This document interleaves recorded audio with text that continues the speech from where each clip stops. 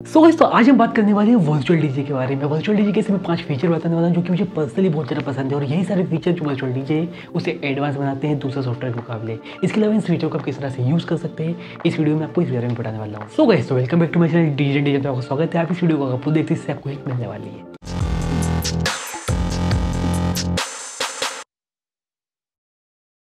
सो so, सबसे पहले जो फीचर है उसका नाम है सी डी जे एक्सपोर्ट अब गए सबसे पहली बात मैं आपको मेरे लिए पर्सनली कितना बड़ा ऑप्शन है मैं आपको यह बता देता हूँ।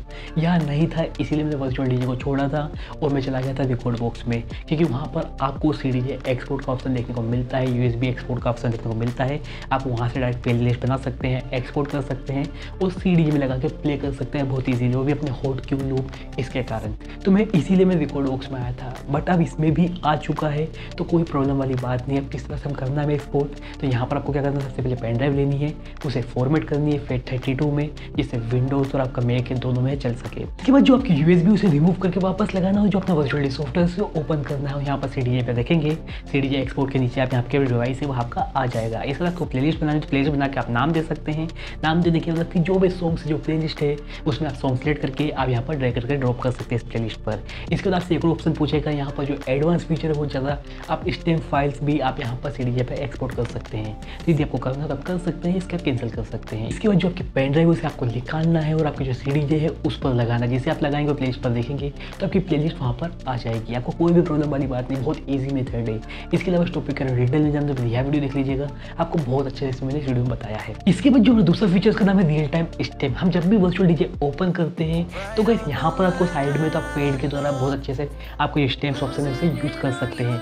बट मुझे जो ज़्यादा क्रिएटिव लगता है, वह है हमारा जो ई सेक्शन है उसे आप पूरी तरीके से चेंज कर सकते हैं। मुझे लगता है उसके द्वारा बहुत सारे क्रिएटिव थिंग्स कर सकते हैं। जैसे कि आपको यहाँ पर देख सकते हैं, यहाँ पर आपको ऑप्शन देखने को मिलता है। तो जो आपके लो हाई जो मिड है सारी चीज़ें, इसे आप पूरी तरह से चेंज कर सकते हैं। जो हाई है, उसे आप बना सकते हैं वोकल इसके अलावा जो मिड है, उसे आप बना सकते हैं इंस्ट्रूमेंट इसके अलावा जो आपकी लो है, उसे आप बना सकते हैं पूरा बीट को। इतना ही नहीं, आप क्या कर सकते हैं, जो बीट है, उसे भी अलग अलग कर सकते हैं। जैसे कि आप तीसरा ऑप्शन यूज़ करेंगे तो आपको हाइट अलग देखने को मिल जाएगी, इसके अलावा नीचे देखेंगे वॉक्स का ऑप्शन उसके नीचे देखेंगे केक तो इसे भी आप कर सकते हो, इससे आप बहुत अच्छे से क्रिएटिव हो सकते हैं। इसके अलावा ऐसा नहीं कि आपको यही से ऑप्शन देखने को मिलता है। जब भी आप कंट्रोलर एड करते हैं तो आपके ऑप्शन यहाँ पर सारे देखने को मिलते हैं। इसके अलावा इस टॉपिक के डिटेल में जानना तो मेरी यह वीडियो देख लीजिएगा। मुझे लगता है बहुत डिटेल में इस वीडियो में बताया, आप अच्छे सीख सकते हैं।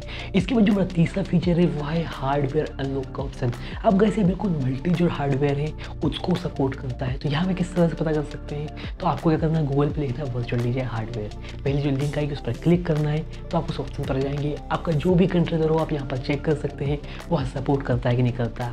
आप नाम सर्च कर सकते हैं या ब्रांड से भी सर्च कर सकते हैं। आप ब्रांड पर क्लिक करेंगे तो यहाँ पर आपको अलग अलग ब्रांड देखने को मिलेंगे तो यहाँ से आप पता कर सकते हैं आपके उसको। इसके अलावा इस टॉपिक का डिटेल में जानना पड़ेगा यह वीडियो देख लीजिएगा। मैंने बहुत डिटेल में इस वीडियो में बताया हुआ है। इसके अलावा जो मेरा फोर्थ फीचर है, यदि आप वीडियो बनना चाहते हैं वीडियो मिक्सिंग करना चाहते हैं तो कैसे मैंने अलग अलग सॉफ्टवेयर यूज़ किए हैं। बट मैं इतना ज़रूर कह सकता हूँ कि सबसे जो सिंपल प्रोसीजर मुझे लगा है वो वर्चुअल डीजे का लगा है।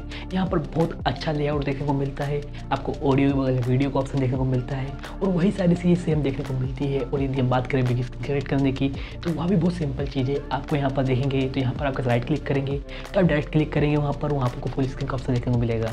तो आप बहुत अच्छे से क्रिएट भी कर सकते हैं। इसके अलावा शेडर की बात करें इफ़ेक्ट की बात करें, या ट्रांजिशन की बात करें, आपको सब कुछ चीज़ यहाँ पर बहुत अच्छे से देखने को मिलती है। और बहुत सिंपल तरीके से यहाँ पर बताई गई है, और यूज़ कर सकते हैं। आपको समझने में दिक्कत कभी नहीं होगी। तो वैसे यदि आप वीडियो करना चाहते हैं तो मुझे लगता है एक अच्छा ऑप्शन रहेगा वर्चुअल डीजे को यूज़ करना क्योंकि वह सिंपल भी है और उसमें सारी चीज़ें आपको यहाँ पर देखने को मिलती है।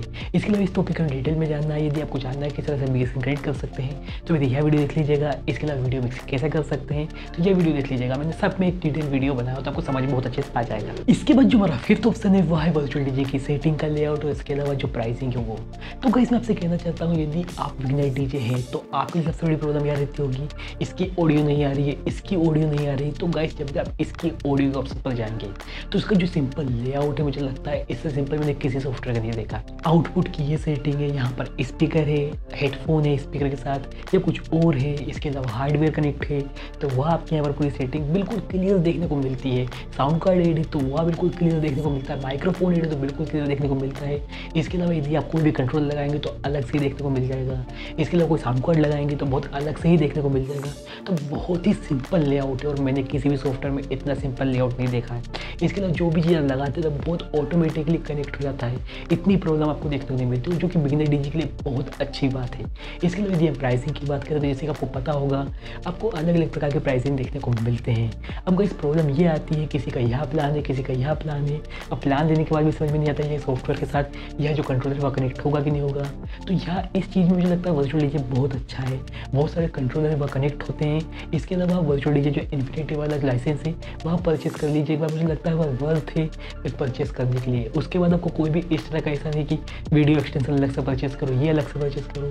तो यह बहुत अच्छी चीज़ देखने को मिलती है वर्चुअल डीजे में। इसके अलावा आपको वर्चुअल डीजे में और भी किसी प्रकार के क्वेश्चन पूछने हैं, किसी प्रकार की प्रॉब्लम आ रही है तो आप इससे पूछ सकते हैं कमेंट बॉक्स में लिख के। मैं सबका आंसर ज़रूर करूँगा। इसके अलावा यह वीडियो आपको अच्छी लगी तो लाइक कर सकते हैं, दोस्तों में शेयर कर सकते हैं। और मैं वैसे एक बात ज़रूर कहना चाहता हूँ, ऐसी वीडियो बनाने में मुझे टाइम लगता है, बहुत ज़्यादा मेहनत लगती है। तो जो मेरी वीडियो है, आप ज़रूर शेयर कीजिएगा अपने फ्रेंड तक जिससे उसे भी फ़ायदा होगा और जो अपने चैनल की ग्रोथ है, वहाँ पर ज़्यादा होगी। इसके अलावा आप इस वीडियो से जाते हैं। तो मेरे चैनल को सब्सक्राइब भी जाकर जिससे मेरे नोटिफिकेशन आप तक पूछते रहे। Thank you